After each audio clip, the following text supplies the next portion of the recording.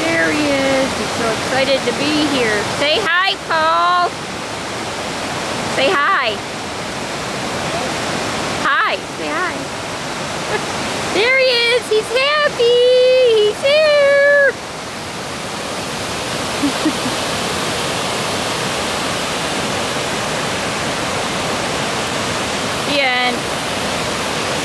Thanks for coming to Wiscoy.